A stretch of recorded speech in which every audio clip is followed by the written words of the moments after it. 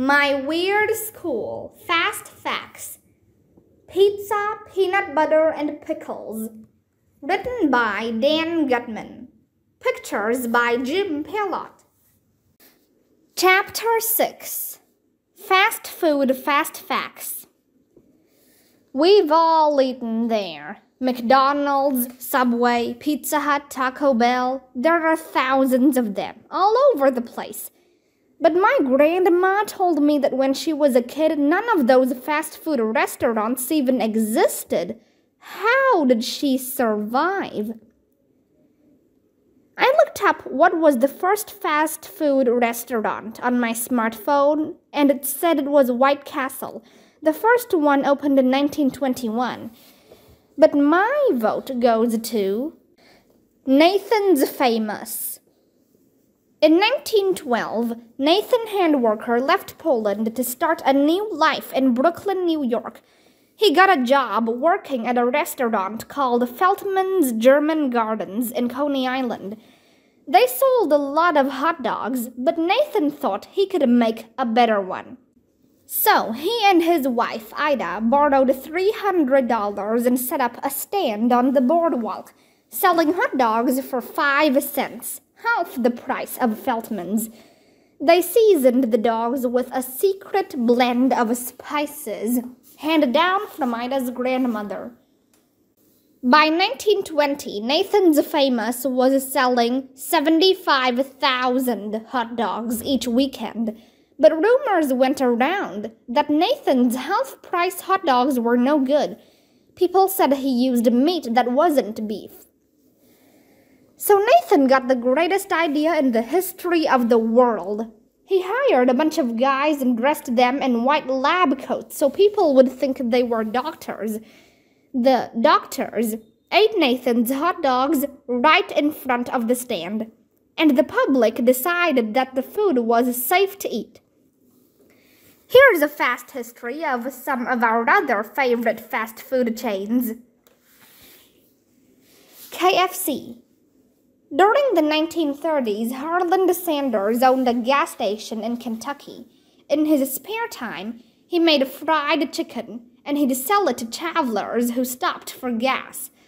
The chicken became so popular that the governor named Sanders a Kentucky colonel. Colonel Sanders started traveling across the country, cooking up chicken in restaurants. He earned a nickel for every chicken that was sold. His company became Kentucky Fried Chicken, and now it's KFC. In 1956, Colonel Sanders met an ambitious young guy named Dave Thomas. Sanders hired Thomas to turn around four struggling KFC restaurants. They became so successful that Dave Thomas decided to start his own restaurant, and he named it after his daughter, Wendy. Today, there are more than 6,000 Wendy's restaurants. McDonald's Maurice and Richard McDonald were brothers who owned a hamburger joint in San Bernardino, California. In 1954, an appliance salesman named Ray Kroc noticed that the brothers had ordered eight milkshake machines. He was impressed that such a small shop could sell so many milkshakes, so he went to have a look. What he found was a simple, efficient restaurant that sold a huge amount of hamburgers at half the price, 15 cents, of other restaurants. Customers ordered at the counter, so there was no need for waiters. They didn't need dishwashers because they used plastic silverware and paper plates. The food arrived quickly because it was cooked ahead of time and warmed under heat lamps. Kroc knew a great idea when he saw one. He went into business with the McDonald brothers, opening up McDonald's restaurants all over the country.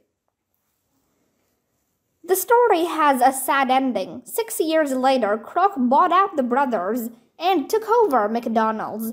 In the agreement, Maurice and Richard weren't even allowed to use their own name anymore. They renamed their restaurant Big M.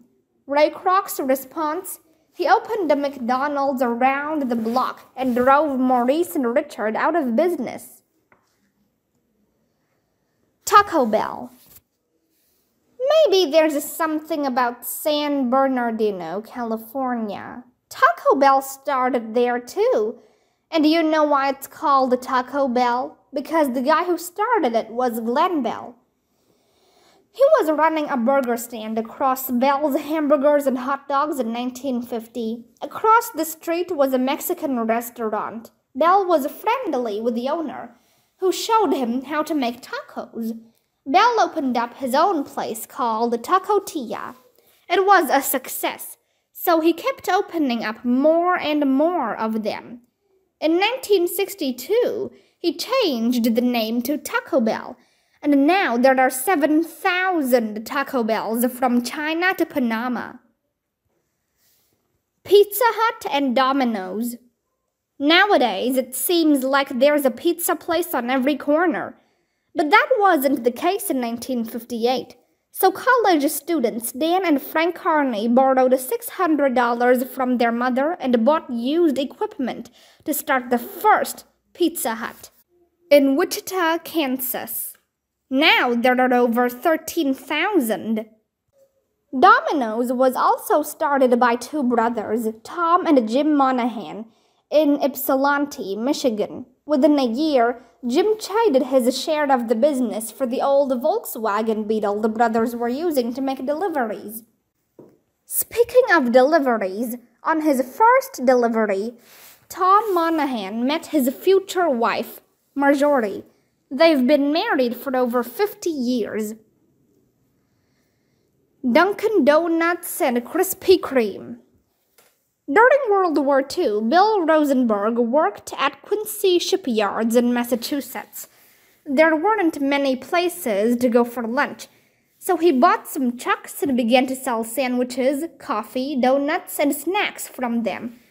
When he saw that half his sales came from coffee and donuts, Bill decided to open a little place that just sold coffee for 10 cents and donuts for a nickel. It took off, but he didn't like the name, Open Kettle.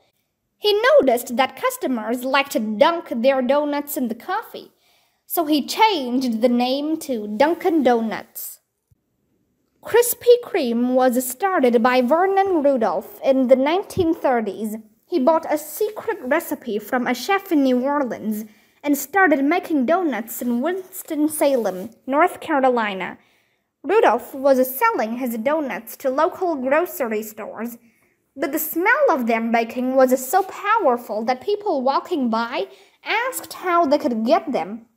So, Rudolph cut a hole in the wall of the building and started selling hot donuts directly to customers. And that's the whole story. Subway. In 1965, Fred DeLuca was a 17 year old kid in Brooklyn, New York. He wanted to go to college to become a doctor, but he didn't have enough money. At a barbecue, Fred asked a family friend, Peter Buck, for a college loan. Buck wouldn't give it to him. Instead, he suggested that Fred open up a sandwich shop and invested a $1,000 to get it started. Together, they opened Pete's Super Submarine in Bridgeport, Connecticut. Later, they changed the name to Pete's Subway, and finally, Subway in 1968. Today, there are more Subway locations, over 44,000, than any other fast food chain. Fred DeLuca never did become a doctor but he stayed in school while Subway was growing, and in 1971 he graduated from the University of Bridgeport. Dairy Queen and Baskin Robbins. Sherb's was the name of three ice cream parlors in Kankakee, Illinois. They were owned by Sherb Noble. One day in 1938, his suppliers, Bradley and Jack, Grandpa, McCullough, told Sherb they had invented a new kind of ice cream soft ice cream. Sherb agreed to try the stuff at one of his stores and held an all you can eat for 10 cents sale. Two hours later, 1,600 servings had been sold. The store was so mobbed with customers that Sherb was afraid they were going to break the front window. That led to the first Dairy Queen in Joliet, Illinois. Around the same time, Irv Robbins was working in his father's ice cream shop in Tacoma, Washington. Irv was bored with chocolate and vanilla, so he started to experiment with other flavors. A few years later, Irv's brother-in-law Burt Baskin opened an ice cream shop in Pasadena, California. Baskin and Robbins decided to combine forces. They flipped a coin to decide whose name would go first on the sign. As you can guess, Baskin won. Baskin Robbins has had more than a thousand flavors, plus some that were tested but never made. Ketchup, Grape Britain, and lox and bagels. Fun fast fact. Barack and Michelle Obama had their first kiss at a Baskin Robbins in Chicago. Isn't that romantic, Arlo? Yuck! Gross!